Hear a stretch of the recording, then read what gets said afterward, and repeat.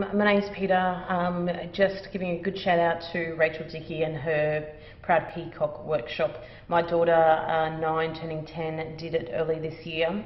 Um, I would enrol her in a heartbeat if we could do another two or three um, as to develop those habits in life, but she definitely got so much out of it. She got um, you know, definitely coping mechanisms within life, and I think it's so important before they hit high school. You know, um, as we all know what high schoolers can be like, but not to mention social media um, pressures and just life pressures today seems to be so much more. Mental illness is massive.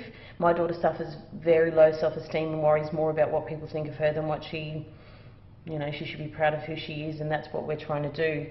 Um, with Rachel's course, I think has been um, definitely um, a step in the right direction.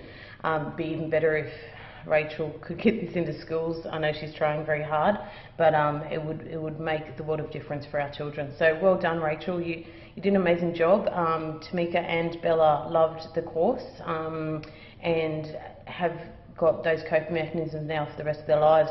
I will be enrolling again um, once I work out my time, but um, definitely doing it again. Well worth the try. Don't even question it. It's affordable, it's result driven, it's fun, and the kids love it.